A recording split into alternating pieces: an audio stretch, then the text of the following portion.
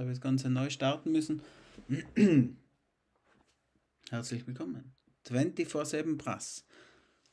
Ich werde unserem Namen gerecht und zwar rund um die Uhr Brass. Heute der 16. Tag. Ähm ich hoffe, das funktioniert. Ich mache es jetzt einfach. Dann sehen wir eh hinten auch, es war. Gut.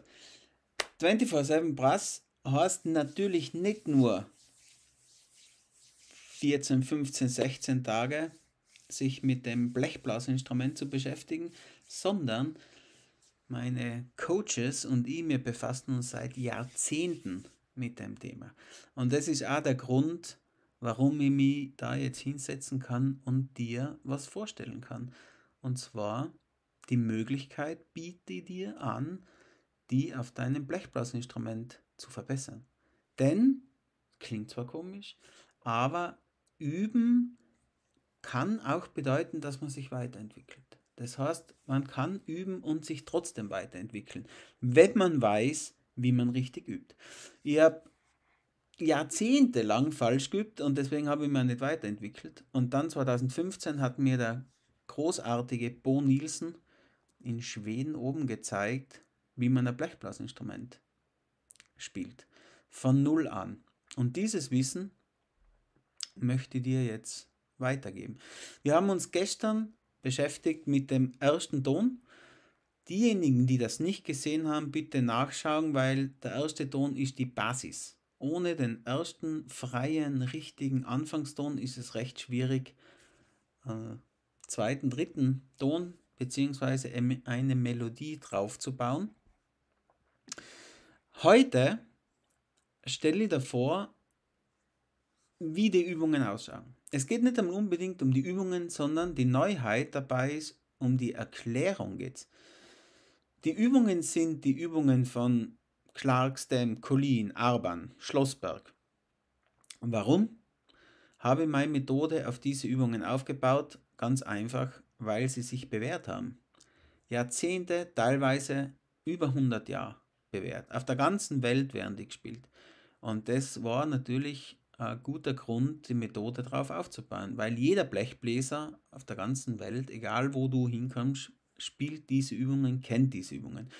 Und eben, wenn du das gesehen hast vor zwei Tagen, das, die Reise nach Venezuela, auch dort spielen sie es. Und wir sind eben in diesem Archipelago Musikpädagogik-Ensemble, haben die ganze Welt bereist, überall werden sie gespielt. Nur, der springende Punkt ist, nicht jeder weiß, wie man sie richtig spielt. Und da war der Bo Nielsen natürlich der optimale Ansprechpartner, weil der hat direkt vom Stamp gelernt. Also der hat es direkt aus erster Hand weitergeleitet bekommen und hat es uns weitergeleitet und ich leite es jetzt dir weiter. So, das heutige Thema ist das 30 Minuten Workout für Blechbläser. So könnte man es betiteln. Das ist der dritte Band dieser Facebook-Serie und wenn du schon länger spielst, dann glaube ich, dass das der richtige Band ist. Kann aber sein, dass, es, dass ich total falsch liege. Es kann auch der zweite Band sein. Jedenfalls im dritten Band stelle ich davor, die 30 Minuten Workout, es ist nicht, jedes Kapitel ist ein bisschen anders. Das kann auch einmal 45 Minuten dauern, aber so zwischen halben Stunde und dreiviertel Stunde. Der Punkt ist der, die Übungen sind nicht so lang, dass sie die überfordern, aber sie sind so lang, dass du die weiterentwickeln kannst. Und die Weiterentwicklung ist das Allerwichtigste auf dem Instrument. Wenn du immer noch spielst wie vor fünf Jahren und sich dein Spielgefühl nicht verändert hat, wenn es nicht leichter geht, wenn du dich nicht wohler fühlst, wenn irgendwie äh, ja, das gleich geblieben ist, dann machst du was falsch. Und ich sage dir jetzt, vielleicht liegt es auch an der Luft. Heute geht es nämlich darum, die Luft während den Naturtonbindungen. Ein ganz äh, schwieriges Thema und machen viele falsch. Vielleicht äh, entdeckst du die da wieder. Was du da brauchst für den Technikcheck ist nur dein Mundstück. Gut. Wie die Basebooks aufgebaut sind, im Groben kann ich dir da zeigen. Das sind eben die vier Bände. Es geht vom ersten Band bis zu den Übungen von Clark Stam Colleen. Und der erste Band ist nur Anfängerschule. Reine Anfängerschule. Die Anfängerschule vor der Anfängerschule, was das bedeutet, erzähle ich dann anderen Tag. Der zweite Band, da lernt man Glissando, Halbtonbindungen, Ganztonbindungen. Warum ist das wichtig? Und zwar die Halb- und Ganztöne, also Halbtonbindung, deswegen zuerst zu lernen, weil es den physikalisch geringsten Widerstand bietet. Das heißt, bevor ich eine Naturtonbindung spiele, ist es sinnvoll, richtig eine Halbtonbindung zu lernen. Viele wissen nicht, wie eine richtige Halbtonbindung klingt, das haben wir gestern besprochen. Ohne das Wissen weißt du nicht, wie du in welche Richtung du üben sollst und dann wird es auch schwierig. Der dritte Band ist ein Naturtonbindungen und der vierte Band, der geht wirklich dann in die Technik. Äh, der, die erste Hälfte des vierten Bandes ist nur eine leichtere Form von Clark. Die zweite Hälfte vom Viererband ist dann wirklich sein Überprogramme Clark, Stem, Colin, Arban, Schlossberg. Ähm, dritte Band Naturtonübungen. Eben diese, also sein tut so, dass diese alle vier Bände, das ist aufbauend und es gibt in jedem Band Kernübungen, die zu erfüllen sind. Das heißt eben im zweiten Band, das sind Übungen, die sind mit einem Augenbutton gekennzeichnet. Man hat das ganze, die ganze, das ganze Buch Zeit, immer wieder an diesen Übungen zu arbeiten. Und wenn man es schafft, dass man diese richtig umsetzt, dann kann ein Fortschritt garantiert werden, weil man es eben richtig umsetzt. Der Hyde, Entschuldigung, dass ich da jetzt keine äh, Webcam dabei habe, aber das hat jetzt beim Wieder starten, leider hat es mir das rausgehauen. Da, jetzt starten wir kleine, da ist sie dabei, sehr schön. Und zwar der dritte Band. Sehr schönes Titelbild, gemacht vom Osttiroler Künstler Hans Salcher, weil ja Trompetenspiel, Blechblasinstrument spielen, ist auch eine Kunst. Und deswegen passt es ganz gut, wenn da vorne sowas drauf ist. War mir sehr wichtig. Ja, Vorwort da erkläre nur, dass es wichtig ist, manchmal seine Richtung zu ändern beim Üben. Und ja, ich bin eigentlich erstaunt, warum niemand auf die Idee gekommen ist bis jetzt, diese Übungen herzunehmen und diese zu vereinfachen. Aber gut für mich und gut für dich, weil diese Möglichkeit, die Übungen erklärt zu bekommen mit Hilfe von Videos oder mit dem 24-7 Brass Coaches einzigartig für dich als Hobbybläser. Da die auf der linken Seite sieht man diese Icons, die sind deswegen so gewählt, also mitunter ein Grund, weil die Kinder immer früher anfangen, ein Instrument zu lernen und manche gibt es wirklich, die mit vier, fünf Jahren anfangen. Das heißt, die sind noch drei Jahre davon entfernt, dass sie überhaupt lesen können. Und das ist dann recht einfach, wenn sie einfach sehen, zum Beispiel da das dritte, das Pinke, da ist eine Lippe, das heißt, sie wissen, das ist Passing zu spielen. Oder oben mit dem Metronom. Metronom ist mir auch wichtig, Übungen mit Metronom zu machen. Es sind meistens nur die Fingerübungen, die Trockenübungen mit Metronom, weil erstens, dass es genau ist und zweitens hat der ganze erste Band zum Beispiel immer nur den Grundpuls von 60. Und das ist nicht schlecht, wenn man so einen Grundpuls hineinbekommt in so einen, in so einen Körper. Okay? Ich erkläre da jetzt gar nicht weiter die, die Buttons, weil die eigentlich selbst erklärend sind. Nur das erste erkläre ich dir, das ist das Ds. Das Ds ist ein Hilfsmittel, was zur Methode gehört. Und zwar kann ich da wirklich selber kontrollieren, ob ich die Systeme Luft und Finger trenne. Weil ich habe als Lehrer immer wieder gesehen, dass Kinder und auch Jugendliche, also Schüler, wenn sie zum Beispiel was spielen und dann sehen sie einen höheren Ton, dann ändert sich manchmal die Luft. Ändert sich der Luftstrahl, nur weil sie höher an höheren Ton sehen. Das heißt, es ist so falsch eingespeichert. Und heute kommen wir genau zu solchen Naturtonbindungen und da kannst du überprüfen, wie es bei dir eingespeichert ist. Die rechte Seite, jetzt muss ich mich kurz ein bisschen da auf die andere Seite begeben, das da ist, das ist das Wichtige. Das heißt, dieses sind die Kernübungen des dritten Bandes. Man sieht eben die, das Augenbutton, das, ein, das Hauptaugenmerk muss auf diese Übungen gelegt werden. Und wenn man die richtig absolviert, wenn man an diesen Übungen arbeitet, und die gibt es in, in jedem Band, im ersten, zweiten und dritten Band und vierten Band, dann hat man die Chance, dass man sich am Instrument auch weiterentwickelt. Und das sollte auf alle Fälle das Ziel sein. Gut, ich stelle euch heute vor, wie das ausschaut. Das heißt, ich gebe einen kurzen Einblick, ich, ich mache eine Kernübung, ja, vielleicht mache ich zwei. Aber einmal auf alle Fälle das Augen, die Kernübungen Auge, zeige dir, dass du dir vorstellen kannst, wie da mit dem, wie in der Methode gearbeitet wird. Dann starten wir gleich rein. Wie gesagt, diese Methode ist chromatisch aufgebaut. Die Chromatik verwende ich wie die Buchstaben in einer Sprache. Wenn ich die Buchstaben kann, dann kann ich alle möglichen Kombinationen zusammensetzen. Ich kann Wörter machen, ich kann Sätze bilden, ich kann Geschichten schreiben, ich kann Bücher füllen und genau so ist es äh, in der Musik auch. Morgen zeige ich dir, wie die Chromatik eingebaut wird, wie das Facebook arbeitet, welche,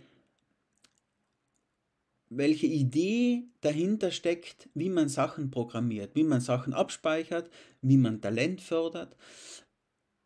Eine große Sache ist, dass man einen komplexen Sachverhalt zerlegt, strukturiert, ordnet und einspeichert. Das machen wir morgen.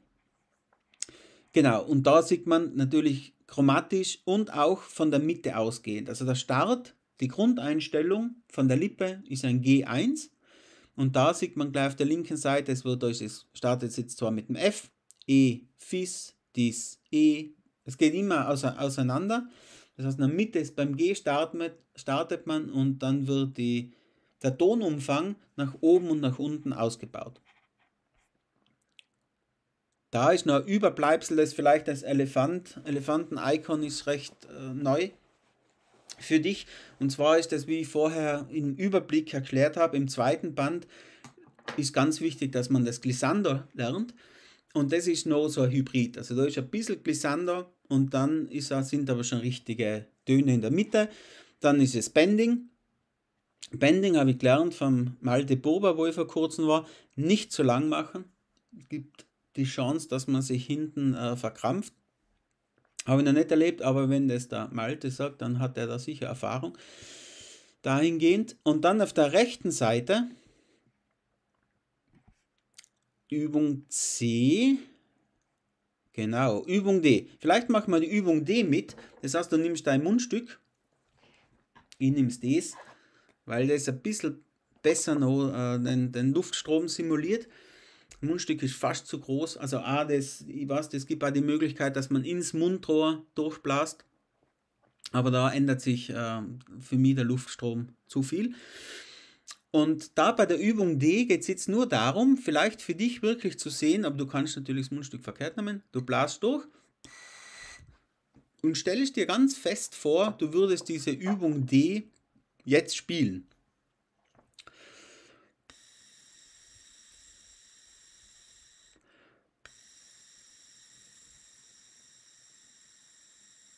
Jetzt ist die Frage, fühlt sich das wirklich so an? Spürst du den langen Seufzer? Und schaffst du das, dass du diesen langen Seufzer auch drüber ziehst, wenn du deine Finger bewegst? Oder ist es so, dass du dir eine portionierte Luftführung angeeignet hast und du willst ganz kurz, bevor dieses Haar kommt, bevor der Finger sich bewegt, die Luft stoppen? Sowas. Es sollte aber sein, die zwei Systeme müssen getrennt voneinander arbeiten, das heißt, die Luft muss weitergehen.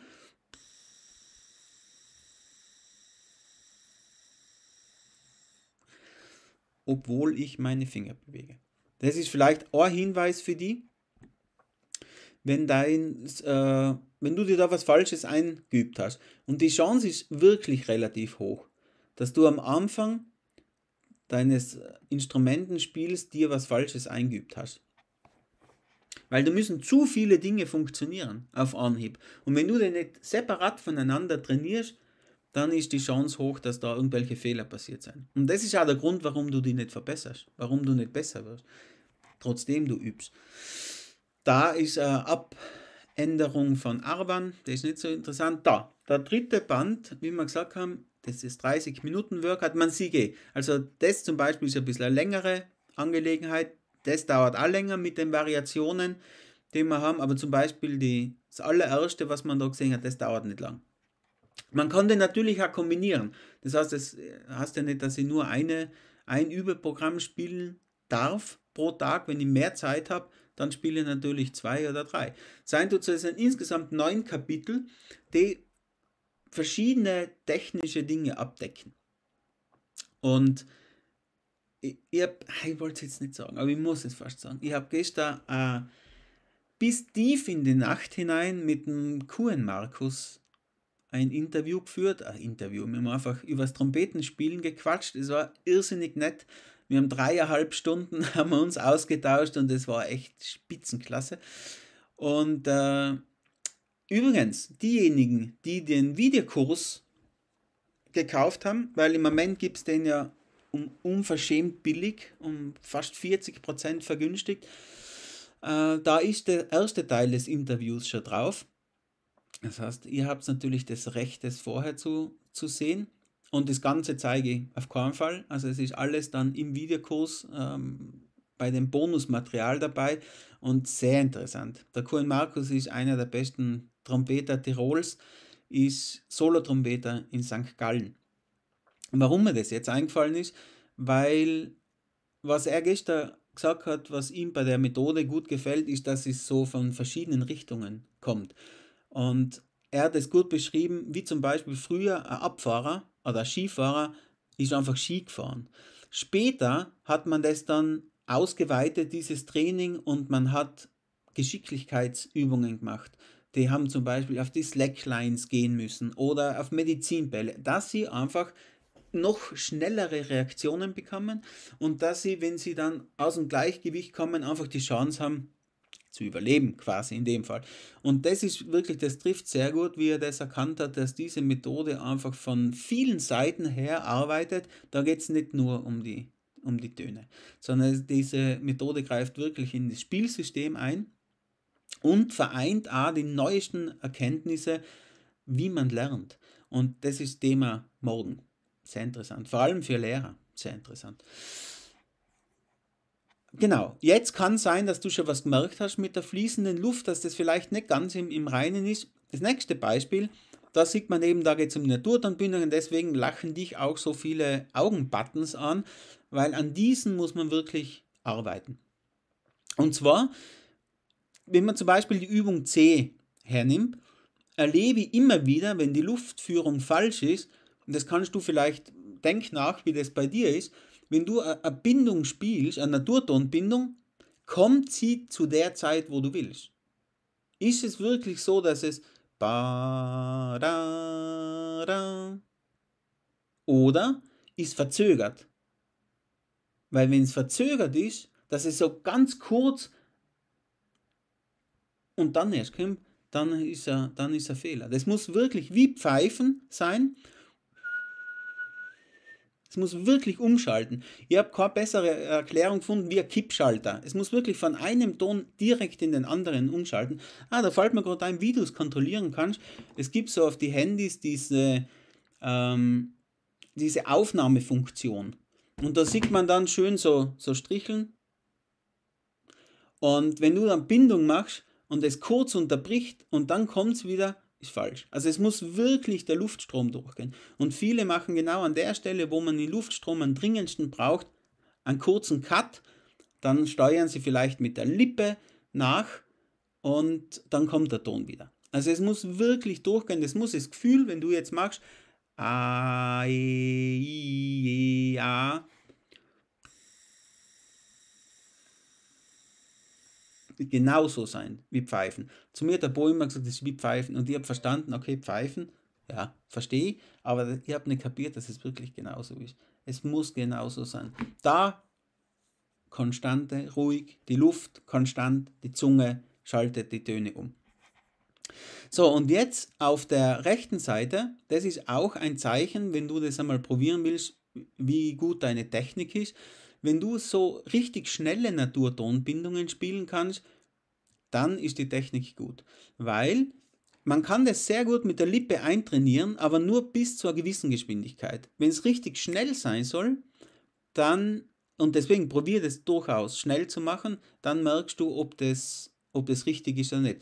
Und jetzt spiele ich dir genau diese Übung D und E vor, weil bis jetzt hat es ja die Möglichkeit nicht gegeben der Erklärung. Wenn du dir jetzt denkst, denk an deine Instrumentalschulen, die du gemacht hast, Hänschen klein, was immer, da gibt es irgendwelche Lieder da drin, aber es ist nie erklärt worden, wie das wirklich klingen muss.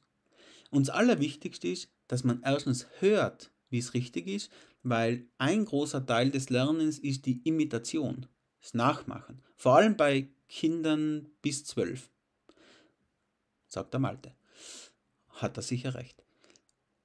Aber auch für die. Du musst ja wissen, in Klang, wo muss das hingehen? Wo, nach was orientiere ich mich? Und deswegen, da ist erstens erklärt, oder da, da hörst du, wie es klingen muss, und zweitens ist erklärt, ja, hoch das am besten an. Ich hoffe, das ist nur da. Ja, sieht gut aus. Der drei Einstiege muss sich im Bauchbereich gleich anfühlen. Hast du bei den höheren Einstiegen das Gefühl, dass es eine Stufe höher ist oder du einen großen Schritt nach oben machen musst, entwickelst du zu viel falsche Körperspannung vor dem ersten Ton. Suche das Gefühl des Fallenlassens über die ganze Übung hindurch. Erst wenn die schnelle Wiederholung so klingt wie im folgenden Beispiel, stimmt deine Technik. Um deine Zunge in eine gute Startposition zu bringen, kannst du dir entweder ein Key denken, bevor du startest, oder du schreist so laut und hoch wie möglich.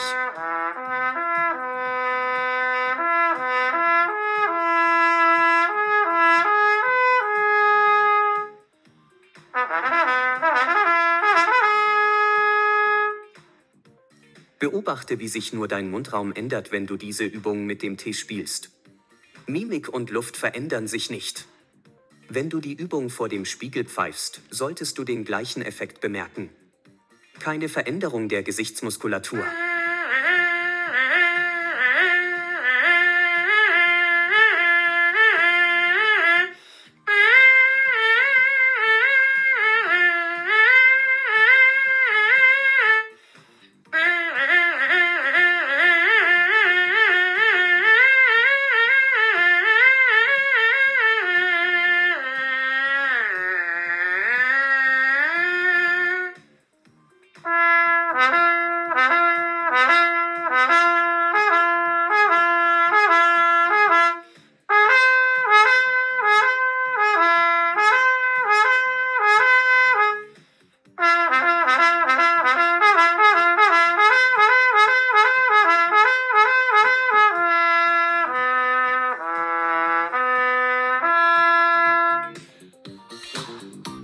Macht vom Gefühl der Luftführung.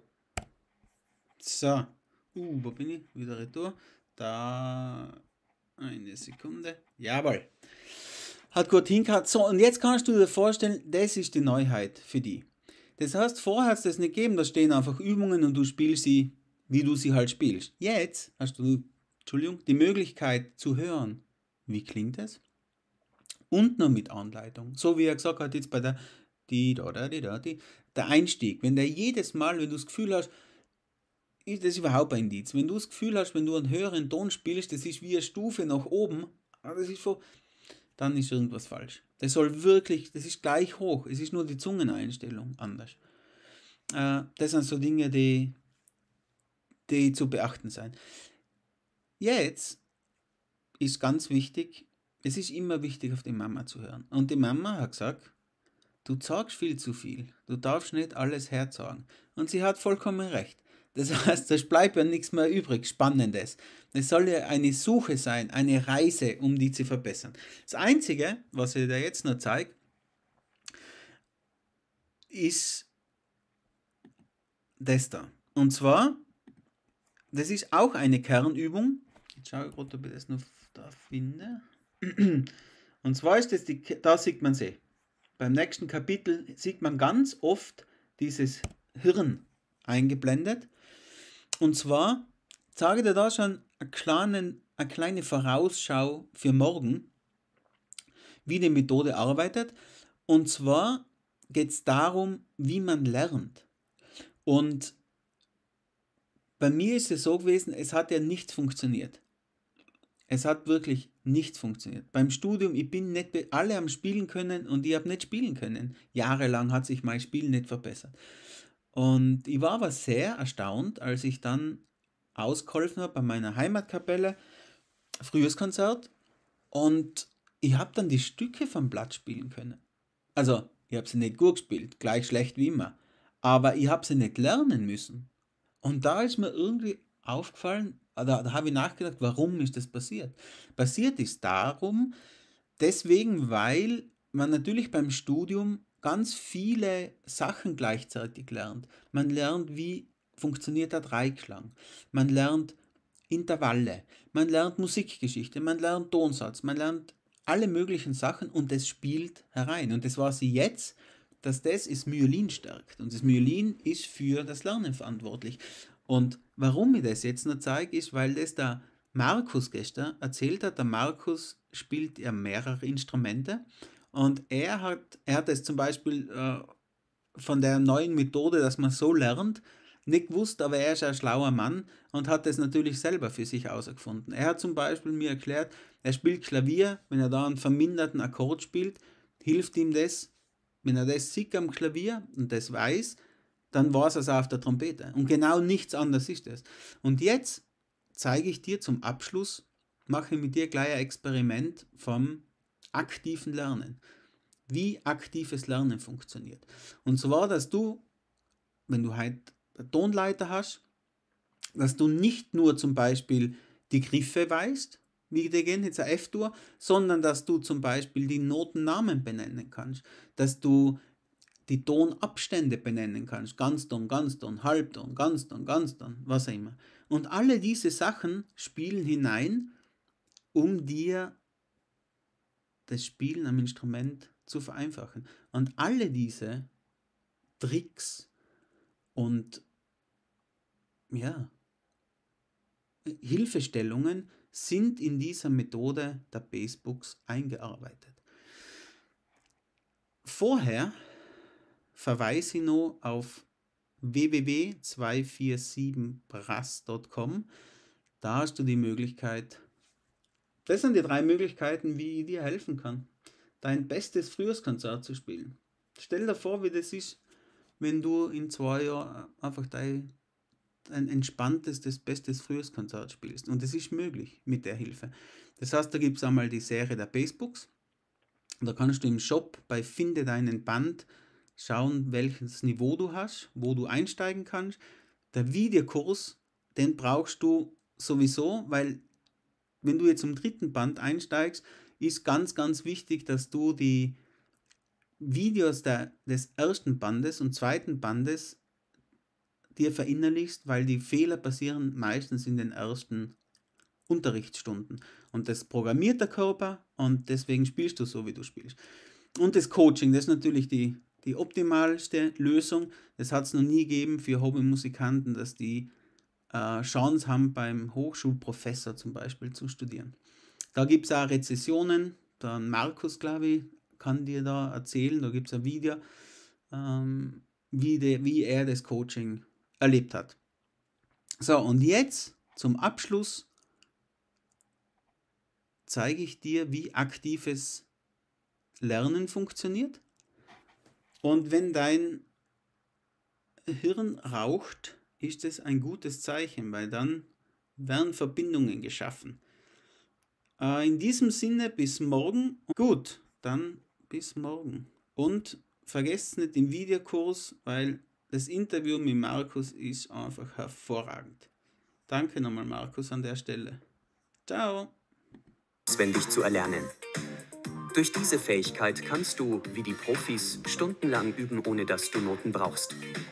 Die Naturtonübungen zum Beispiel kannst du in jeder Variation machen, wenn deine Finger die chromatische Tonleiter motorisch einprogrammiert haben.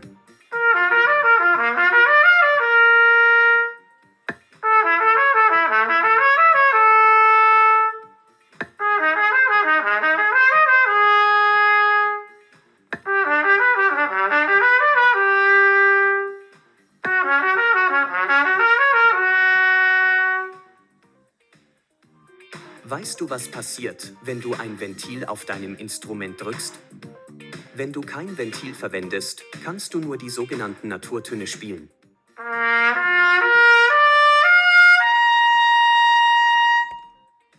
Die Töne dazwischen kannst du mit Hilfe von verschiedenen Griffkombinationen erreichen. Durch Drücken eines Ventils wird der Weg der Luft verlängert. Da das Instrument nun länger ist, erklingt ein tieferer Ton. Das bedeutet, dass durch Betätigen eines Ventils die Töne nicht höher werden können. Die kleinste Veränderung wird durch Betätigen des zweiten Ventils bewirkt. Egal bei welchem Naturton ich starte, erhalte ich durch die Verwendung des zweiten Ventils einen Halbton.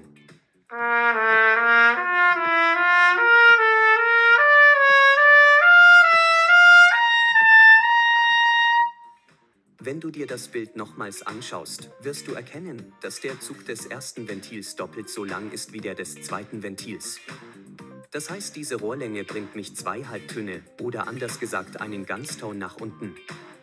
Das dritte Ventil ist genauso lang wie das erste und zweite gemeinsam, also einen Ganzton und einen Halbton.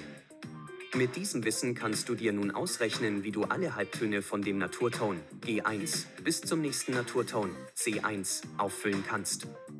Für diesen Halbton verwendest du das zweite Ventil. Das erste Ventil beschert dir einen Ganzton. Erstes und zweites Ventil gemeinsam gedrückt, füllt den Eineinhalbtonabstand einer kleinen Terz.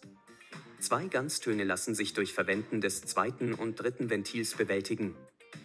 Das dritte Ventil ist dabei ein Ganz- und Halbton und das zweite Ventil ein Halbton. Zwei Ganztöne und einen Halbton lassen sich durch Drücken des ersten und dritten Ventils erreichen. Erstes, zweites und drittes Ventil gemeinsam gedrückt ergeben die maximale Verlängerung des Instrumentes auf drei Ganztöne. Dasselbe gilt, wenn du versuchst, die Töne vom C2 runter zum G1 aufzufüllen. Den ersten Halbton macht wiederum das zweite Ventil. In diesem Fall würde auch die Griffkombination erstes und drittes Ventil funktionieren. Dieser sogenannte Hilfsgriff ist dann aber vom Abstand des nächsthöheren Naturtons E2 gerechnet. Der Abstand vom E2 zum H1 beträgt zwei Ganztöne und einen Halbton. Das Beherrschen der chromatischen Tonleiter und das Bewusstmachen von Halb- und Ganztönen hilft dir später, auch wenn du zum Beispiel für eine Prüfung in Österreich sinnlos Molltonleitern auswendig lernen musst. Du kannst jede Molltonleiter, ohne sie je geübt zu haben, spielen, wenn du weißt, dass diese aus einer Reihe von Ganztönen besteht und du nur zwischen dem zweiten und dritten Ton bzw. zwischen dem fünften und sechsten Ton einen Halbton einbauen musst. Oder du spielst die Durtonleiter mit denselben Vorzeichen, die du im B-Book gelernt hast, startest aber beim sechsten Ton. Durch diese Methode verschwendest du keine sinnlose Übezeit und kannst dich auf das Musikmachen konzentrieren.